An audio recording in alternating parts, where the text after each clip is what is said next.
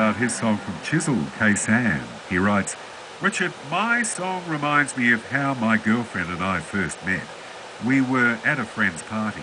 We didn't know each other beforehand, but after a few beers, we were the only two on the dance floor that knew every word of Khe Sanh.